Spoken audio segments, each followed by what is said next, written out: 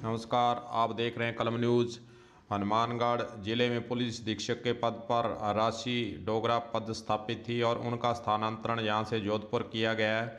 जोधपुर स्थानांतरण होने के बाद आज जिला पुलिस अधीक्षक कार्यालय में उनकी विदाई पार्टी रखी गई और स्टाफ के द्वारा और अधिकारियों के द्वारा उनके कार्यकाल को याद भी किया गया और वहीं दूसरी ओर पुलिस लाइन के अंदर भी उनको आज बुलाकर वहाँ भी उनकी भावभीनी विदाई इस ज़िले से की गई है और इस मौके पर अधिकारियों के द्वारा चाहे पुलिस लाइन की समस्याओं का मामला हो चाहे यहाँ पुलिस अधीक्षक कार्यालय की समस्याओं का मामला हो पर स्टाफ के द्वारा यही कहा गया। है कि इनका सहयोग समय समय पर मिलता रहा है और जिला कलेक्टर भी इस समारोह में खास रूप से शिरकत उन्होंने की है और एसपी राशि डोगरा के कार्यकाल के समय जो कार्य किए गए हैं, चुनाव संपादित किए गए हैं, इसके संबंध में भी जिला कलेक्टर के द्वारा उन्हें यह कहा गया कि उनका सहयोग और उनके पुलिस के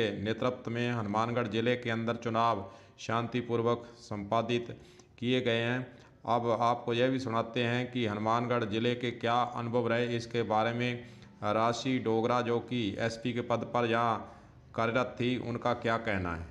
हाँ जी मैडम क्या अनुभव रहा हनुमानगढ़ ज़िले का? हाँ देखिए हनुमानगढ़ में जो मेरा सवा साल का कार्यकाल रहा बहुत ही सफल कार्यकाल रहा। इसमें सभी जो हमने कोरोना महामारी की ड्यूटी की या इलेक्शन किए तो सबसे ज़्यादा जो हमेशा मैं ये याद रखूँगी यहाँ की जनता का सहयोग। यहाँ की जनता को चाहे धार्मिक कार्यक्रम हो या कोई भी बड़े आयोजन हो कोरोना के टाइम में जब हमने उनसे अनुरोध किया निवेदन किया तो उन्होंने हमेशा हमारा साथ दिया। अभी भी आप देखें कि जब भी हमारे कलेक्टर साहब और हमारी कोई मीटिंग होती है, किसी मंदिर को या धार्मिक प्रतिष्ठान को खोलें या ना खोलें तो जो भी सारे धर्मगुरु आते हैं, वो बहुत ही कॉपरेट करते हैं। मीडिया ने भी हमारा बहुत कॉपरेशन किया। जितनी बड़ी वारदातें हुई, उसमें हमें अगर स्ट्रेटजी बनाने के लिए या जिस तरह भी कोई इन्फॉर्मेशन हमें छुपानी भी होती थी तो मीडिया के पास वो इन्फॉर्मेशन होते हुए भी वो उसको लीक नहीं करते थे। स्टाफ का बहुत सहयोग रहा। तो मैं संक्षेप में यही कहूँगी कि हनुमानगढ़ की जनता को धन्यवाद और स्टाफ को धन्यवाद।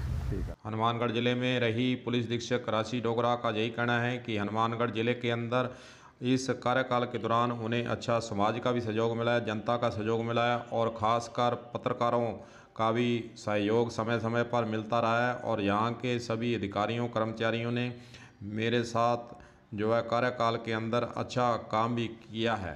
कलम न्यूज़ के लिए गुरदेव सिंह सैनी की रिपोर्ट।